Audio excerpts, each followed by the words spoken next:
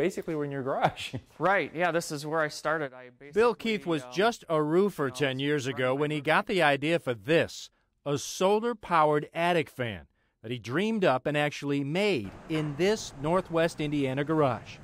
And that just pumps hot air out of your attic. It just pumps hot air out of your attic. So uh, if I take it out in the sun, Let's do this. Yeah. as soon as it starts sensing sunlight, so it doesn't even have to be right in the direct sunlight. As soon as it starts sensing it, it starts going. Drawing hot air out of your attic, lowering your cooling bills, and using only the sun's energy to do it. Sales have been good, obviously. Yeah, I think my first year we did $39,000 in sales and wasn't enough to cover all the expenses.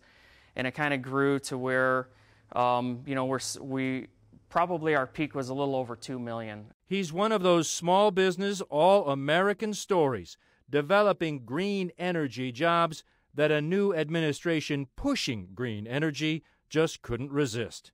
I got a call from the guy from the White House on a Saturday night at 7 on my cell phone saying, you know, this is Greg Nelson from the White House. And I was like, yeah, right. Who is it really, you know? And uh, he said, no, we'd like to invite you to um, Obama's town hall meeting. That's where you asked the question. yeah, when I asked the question, thank you, President Obama. I'm Bill Keith from Sunrise Solar. I manufacture a solar powered attic fan right here in Indiana. With that one town hall appearance, Bill Keith became a White House solar superstar. Can you come to Washington? You, can you come to Philadelphia? Vice President Biden is doing this. Each time asked to talk about his green energy business. But now, the half dozen jobs Bill Keith created out of this garage are about to be lost. This is the good stuff here. Uh huh. And this has been working for how long for you? Uh, five plus years now.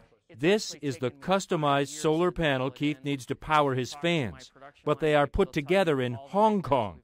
It is the only part of this fan that is not made in the USA. The plastic is from Indiana, the motors from Chicago, the wires from New Jersey. The steel brackets, they're made just down the street.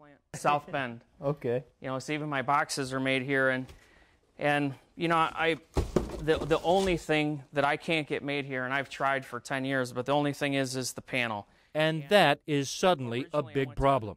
His customized solar panel assembled in Hong Kong is now part of a big business, big time trade dispute between the U.S. and China. The Obama administration is trying to protect big U.S. solar panel companies from having to compete with cheaper solar panels made in China. And President Obama has placed a 250% tax on the very solar panels Bill Keith needs to keep his fans and his business running. This notice from U.S. Customs advised him the solar panels he imported in May will face the full import tariff. Let's just take the small one. Let's say 250%, right? So 2.5. That's $270,000 that I would have to come up with out of my pocket to pay customs and border. These guys are going to put me out of business, and I don't have any help. I've been trying to get help. No one can. No one will help me navigate. Last month, Keith decided to play his political card, writing to what he thought was his personal contact at the White House, Greg Nelson at the Office of Public Engagement. Under the subject line, Hanging On for Life here, Keith asked, Can you help me before I have to close my doors and let everyone go? Please, I'm pleading with you. The response from Gregory Nelson at the White House Office of Public Engagement Thanks for bringing it to my attention. I don't know what is possible, but let me talk to a few folks ASAP. We'll circle back soon. It's been nearly a month. CNN did receive this email from the White House basically stating the tariff highlights the degree to which solar panel manufacturers have faced unfair competition from countries like China. And the president's move to impose a tax on Chinese made goods is a way to establish a level playing field with China for American businesses and workers. The email did not address how it was going to help Obama's former solar superstar to save his business. This is the kicker. Yeah, You were the star. I know it's a little disheartening. Actually, it's hard for me to look at it. I thought about taking it down. I got swept up in, into this, paraded around Washington D.C., invited multiple times. I I was like, why am I getting invited? I'll show you the tickets I got from the White House being invited to events. I get White House Christmas cards and even a letter from the White House And I don't have my glasses on, Drew, but that last line there, what does that say? Please stay in touch with suggestions that will help us help you win the future. That's the guy I think that hasn't talked to you in a month. Yeah. Um, yeah. Disheartening.